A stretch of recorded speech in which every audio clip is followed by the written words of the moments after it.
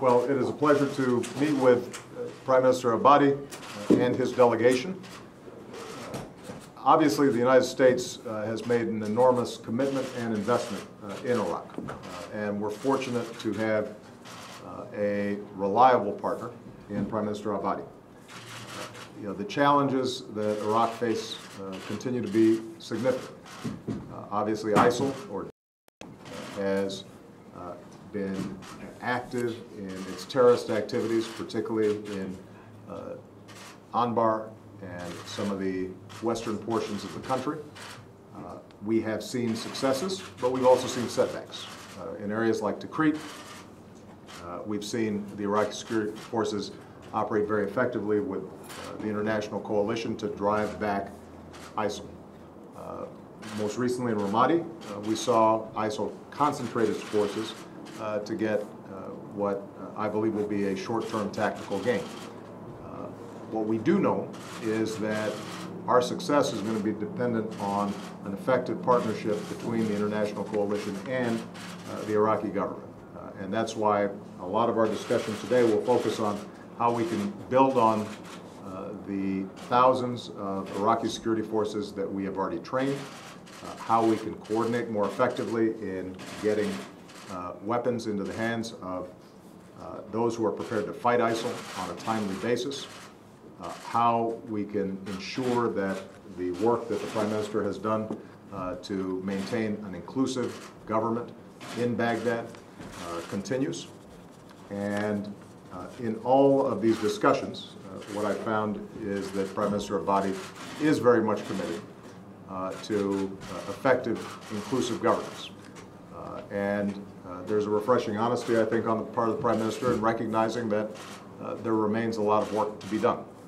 Uh, But uh, as long as the international coalition sustains its efforts, and as long as Prime Minister Abadi uh, and the Iraqi government stay committed to an inclusive approach to gaining back territory from ISIL and then instituting governance uh, that is inclusive and serves the people, uh, I'm absolutely confident that we will succeed.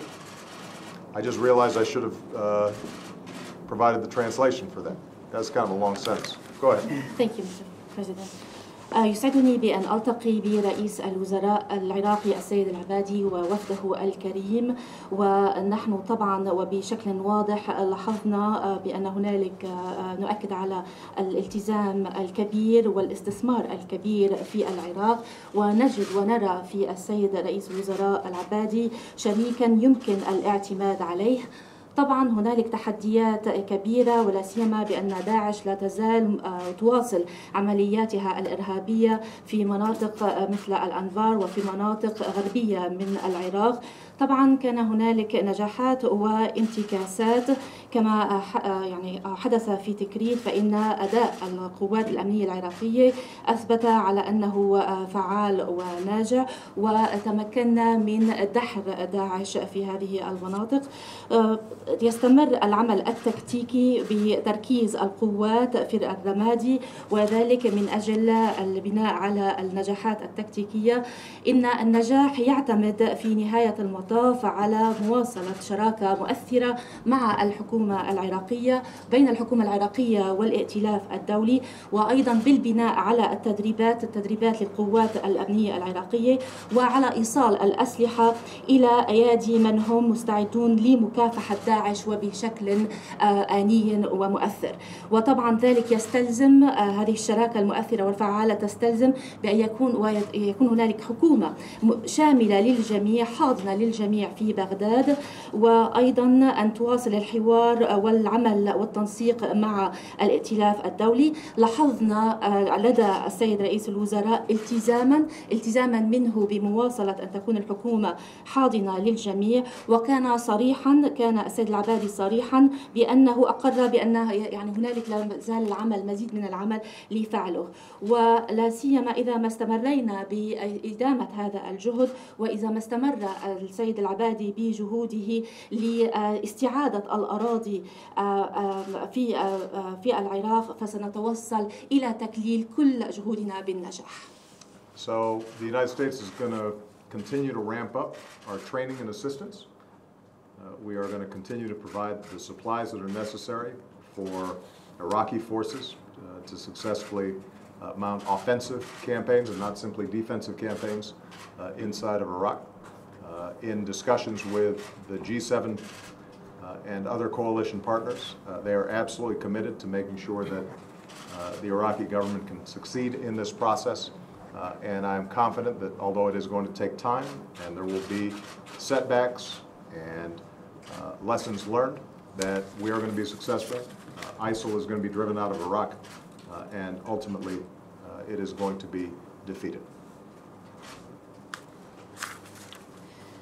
الولايات المتحدة الأمريكية ستواصل على تكثيف جهودها بمجال تدريب أو المساعدة آه، والتدريب للحكومة العراقية والقوات الأمنية العراقية وإيصال كل اللوازم والمعدات اللازمة إلى القوات الأمنية العراقية لكي تكون جهوزيتها ليس فقط في موقع دفاعي وإنما أيضا في موقع هجومي آه، ضد داعش. ومع الشركاء في مجموعة السبع ملتزمون جميعا من أجل نجاح العراق ومن أجل نجاح الشريك العراقي. طبعا ذلك سيستغرق وقتا وسيكون هنالك نجاحات وانتكاسات ودروس مستفادة. ولكن في نهاية المطاف سنهزم داعش وسندحر داعش ونتغلب عليها. أشكر الرئيس أوباما للولايات المتحدة ومجموعة السبعة وأيضا الاتحاد الدولي على وقوفه مع العراق ضد إرهاب داعش. I would like to thank uh, President Obama and the United States and the G7 countries and the global coalition against uh, ISIL for standing side by side with Iraq uh, to defeat Daesh. إحنا خضنا ونخوض عدة معارك مع داعش واحدة من هذه المعارك في كل هذه المعارك نحن ربحنا الجولة مع داعش ولكن واحدة منها هي الرمادي وخسرنا الرمادي بس أنا أقول إن شاء الله مؤقتا آه، بعد الرمادي القوات العراقية بضمنها الحشد الشعبي اللي هو تحت سيطرة القائد العام للقوات المسلحة وتحت سيطرة الدولة العراقية الآن بالكامل. آه، أعاد مرة أخرى أخذ زمام المبادرة وتم تحرير مساحات من الأرض تعادل عدة أضعاف من مساحة الرمادي We are fighting several fights and combat against ISIL. We have won many rounds against ISIL. One round we lost was in Ramadi, but I say that we lost it only temporarily and the Iraqi security forces and the popular mobilization forces, all under the leadership of the commander in chief and the leadership of the Iraqi government, has taken control of the situation and are endeavoring very hard to liberate uh, all the land uh, uh, in Iraq that needs to come back to Iraq.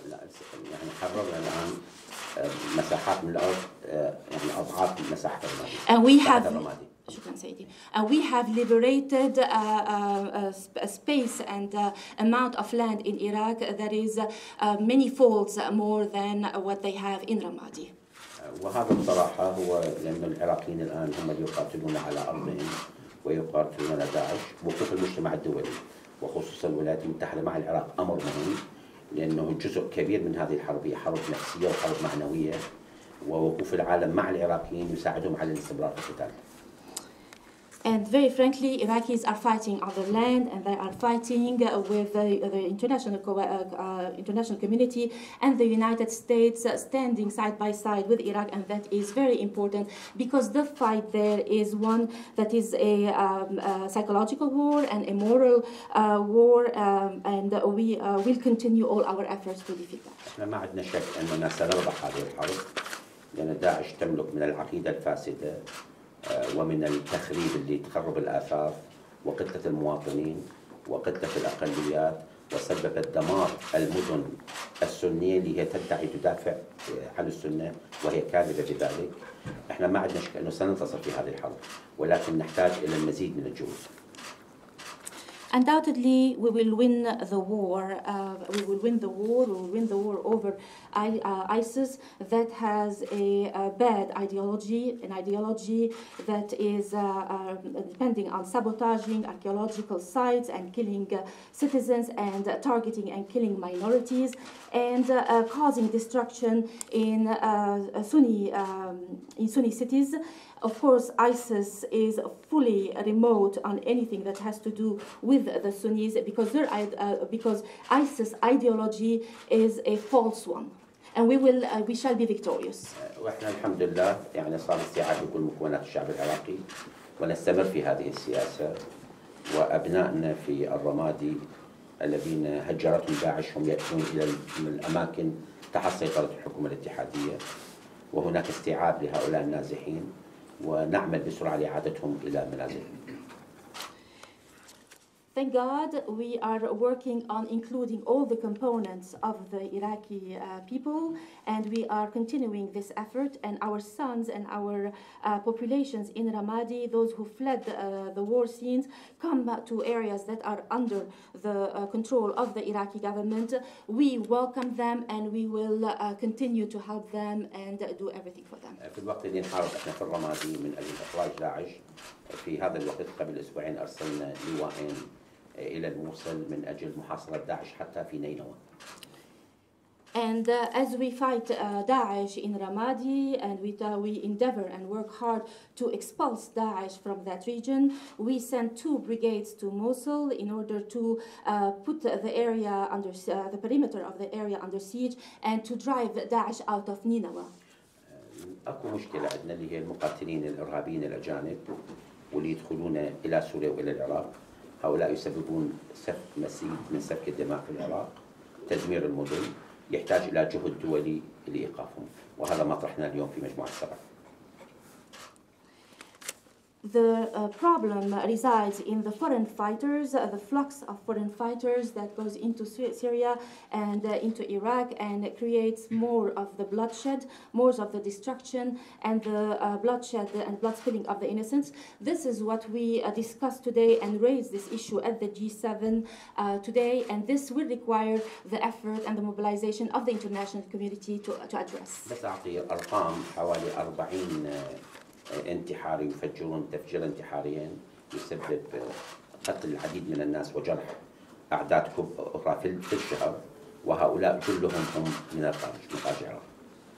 Just to give an example and an idea, 40 suicide bombers uh, um, um, um, conduct operations and uh, they kill many, and many of them are killed, but these people are from outside and they are coming from outside Iraq. Have 40 suicide bombers a month Yes. average. Thank you, sir.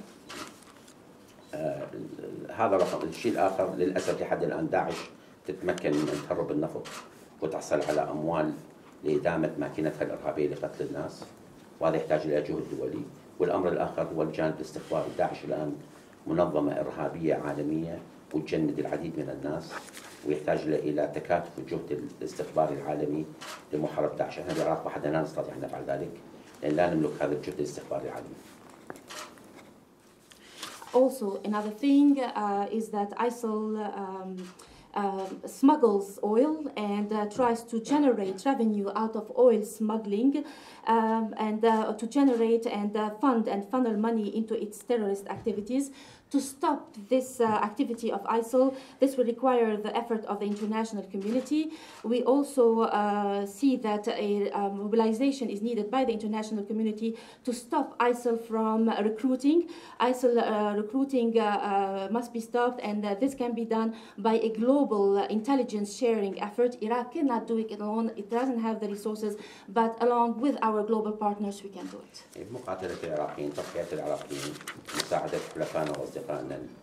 ال- الجانب الأمريكي والتحالف الدولي ومجموعة السبعة بالتأكيد نستطيع أن ننهي وجود داعش في العراق قريبا We believe that uh, by protecting our, uh, the Iraqis uh, and our uh, citizens, and with the help of our allies, with the help of the global um, uh, community and the international community and the G7, we will be able to defeat ISIL and be victorious in Iraq.